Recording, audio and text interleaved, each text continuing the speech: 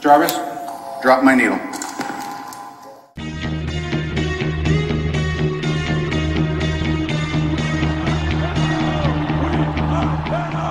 We are Venom! We are Venom.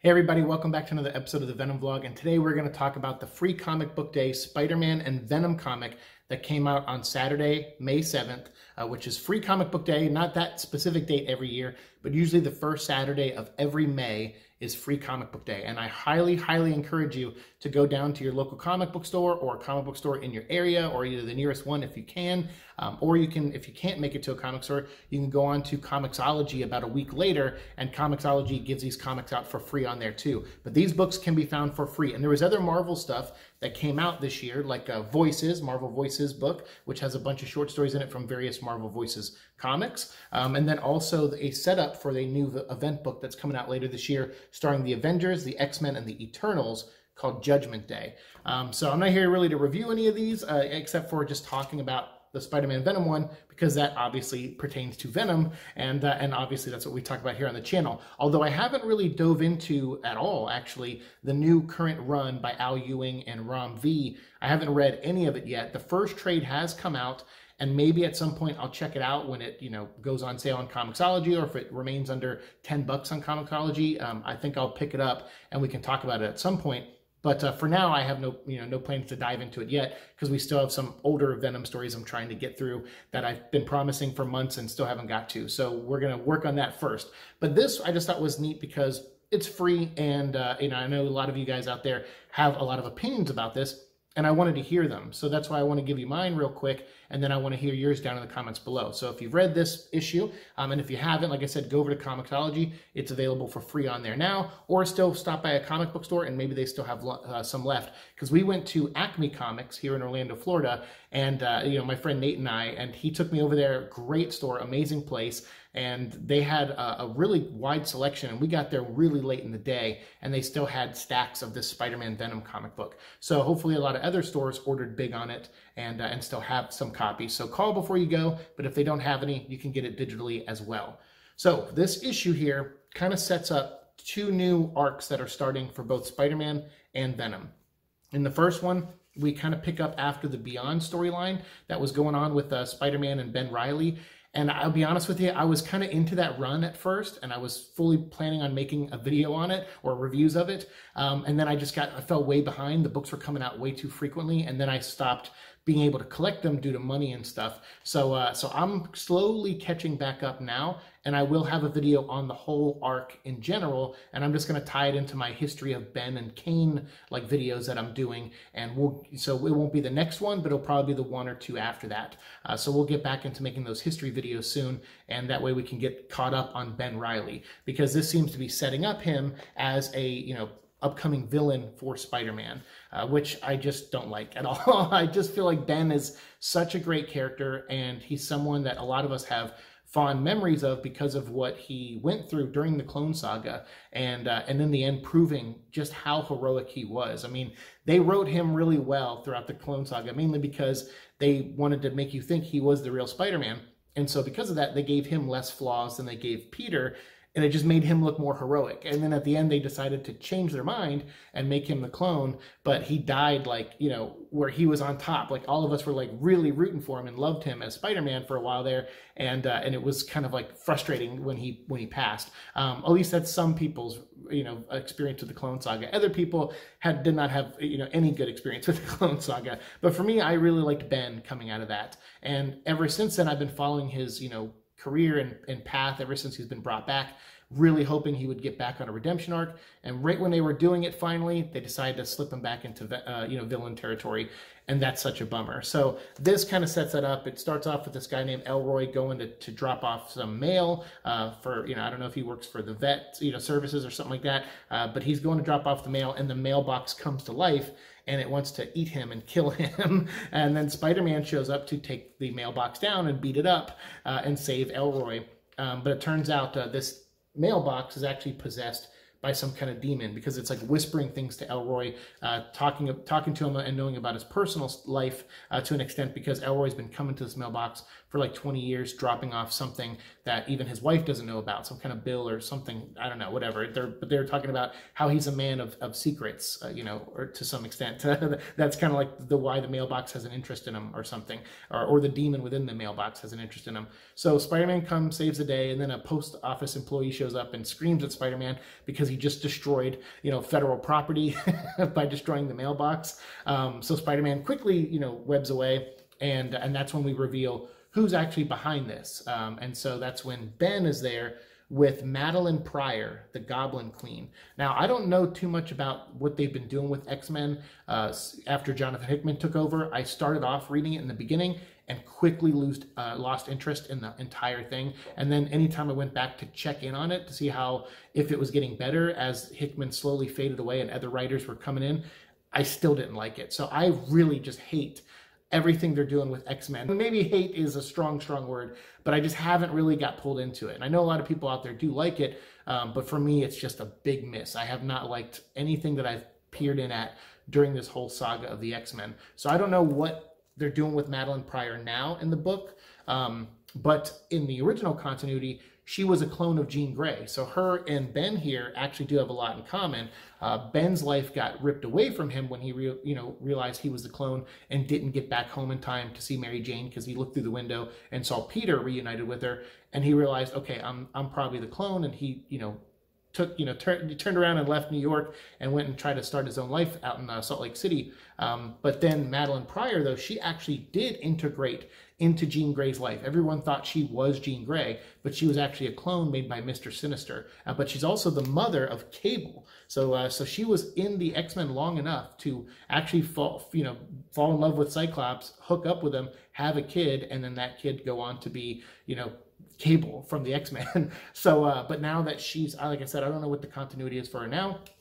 But either way, it looks like she's here and she has some kind of plan, and Ben's on board, so they're going to team up. So I, know, I don't like the idea of Ben being a villain, but I'm hoping that whatever they do with him in this new costume and these new powers that he has and stuff, I hope eventually he turns it back around. Although I'm getting really tired of that story because uh, it feels like every time they bring Ben back, he's a villain, and then they, you know, mess with him for a while, and then he's like, oh, maybe he will be a hero, and then he falls back into villainhood.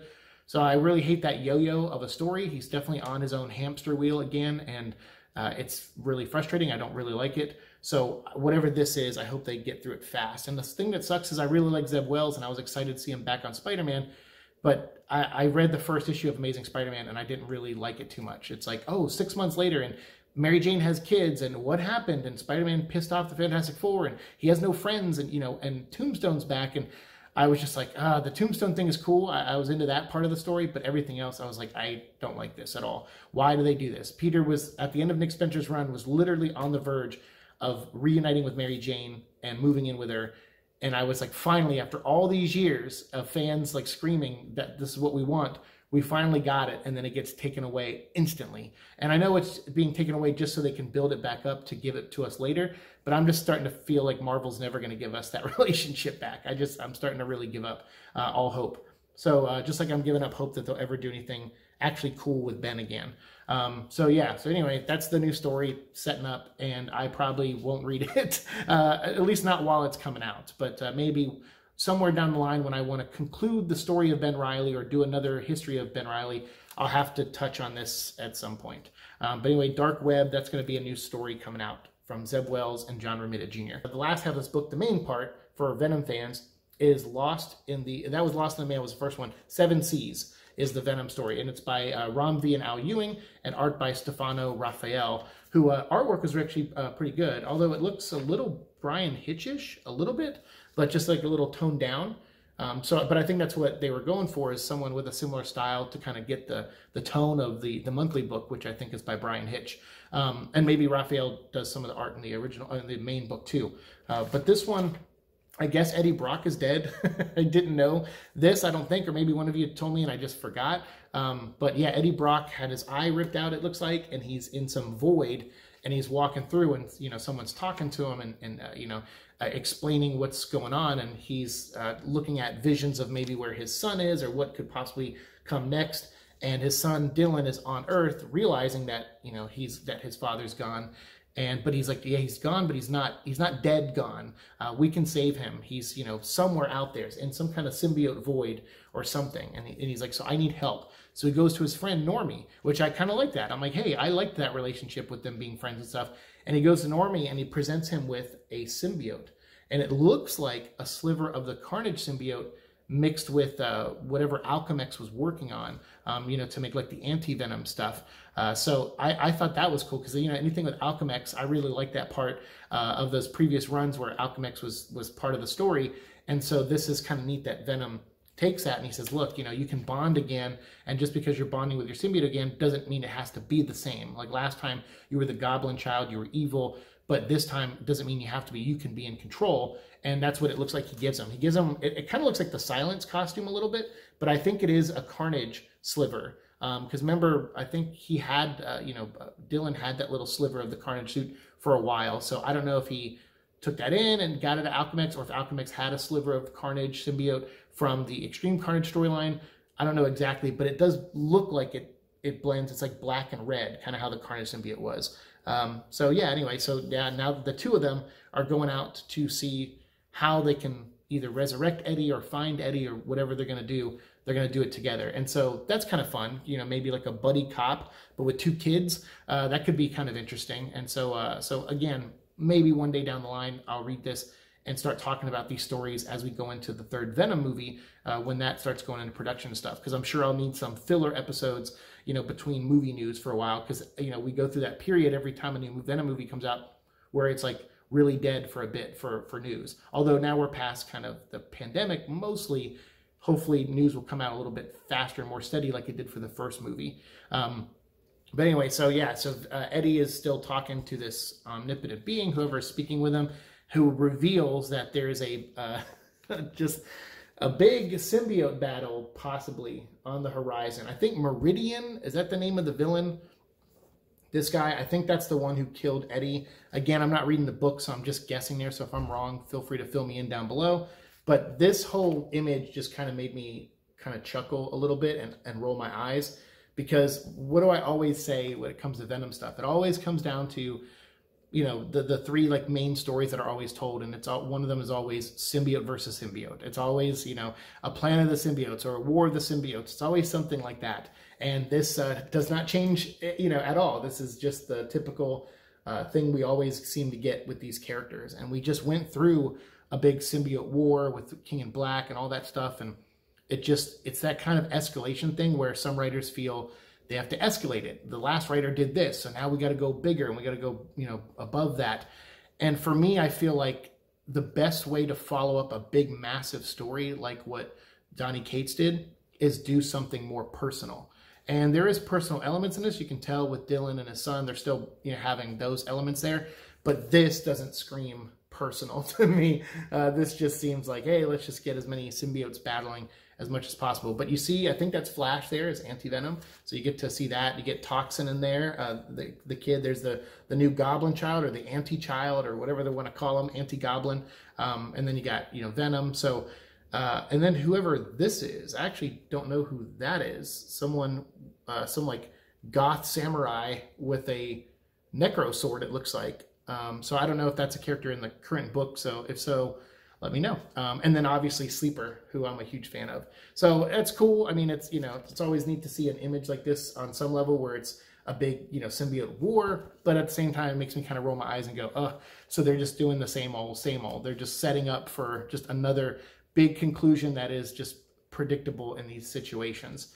So uh, I don't know, but those are my thoughts. Still, um, I'm, you know, I'm not excited for Venom, and I'm not really excited to read what they're going to do with Ben. So this felt weird to me reading because I was like, oh man, none of this pumps me up for what's coming down the line for Spider-Man or Venom, and that's a shame because on this channel, definitely, uh, that's been my life for the last five years is talking about things that are Spider-Man and Venom related, especially specifically Venom, obviously, but we do talk about Spidey at times as well. And we covered that whole Nick Spencer run, which I've really enjoyed for the most part. There was definitely some hiccups in it, in my opinion, but overall, I really enjoyed it. And I thought it re-centered Peter at the end back to a point where I'm like, this is where I wanted Peter for years. I can't wait to see where they go with him. And then they just go in a direction that I just feel is is such a waste of time on some level. Um, And then same with Venom. Like I feel like after Donny Cates, they're just like, hey, we gotta pump it up. We gotta go a step above somehow and introduce another big god villain and another. And it's like, oh man, like that's just not the way I would have probably gone. I would have probably gone the more the Mike Costa route where it was like smaller stories, get kind of rail it in a little bit or rein it in a little bit, where you have uh, you can still have Venom or Eddie be the god type character, but show the more like you know human side of that uh, for the most part before you get to the big stuff. And it just seems like they're rushing to get to the big stuff again, and I'm not really into that. But maybe as we get closer to the Spider Verse movies coming out as well, and we get more Spider Man content on this channel, um, we'll talk a lot about this guy, Spider Man 2099 uh, definitely, because I picked this issue up, and maybe that could be something fun we can talk about, but only after I do like an origin of Spider-Man 29 uh, video. So 2099 video. Um, yeah, it's the longest year ever in history of comics, 2099.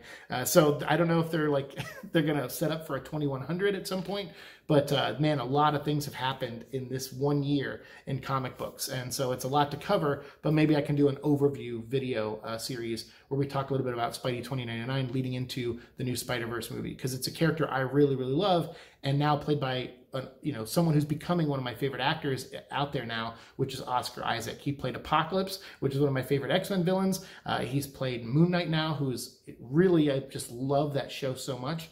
And then he's also doing the voice of Spidey 2099 in the upcoming movie. So yeah, I'm a big fan of the guy. So I think we're going to follow kind of his adventures and talk about some 2099 Spider-Man stuff coming up soon too. So that actually gets me excited. This stuff didn't so much, but uh, I didn't hate it. I just kind of was like, eh, all right, they're just doing the same old, same old uh, with Ben and Venom. It's just like a the hamster wheel thing. Uh, but now Venom's on a different hamster wheel where he deals with gods and big monsters and things and dies and gets resurrected. And I'm just kind of like, eh, I'm over it and wish they would just do something, I don't know, not so big. Uh, but then again, I haven't really read, to be fair, I haven't read the first trade. So for all I know, it has big moments, but also has smaller moments. And so I shouldn't really judge uh, based off just this. Uh, you know, obviously this is meant to be big and get you excited for what's to come. But for me, it, it just didn't. Uh, but if it did for you, let me know down in the comments below. And as always, we'll continue the conversation down there. Thanks so much for watching the show. Like, share, subscribe, all that fun stuff. And I'll see you all in the future. Peace.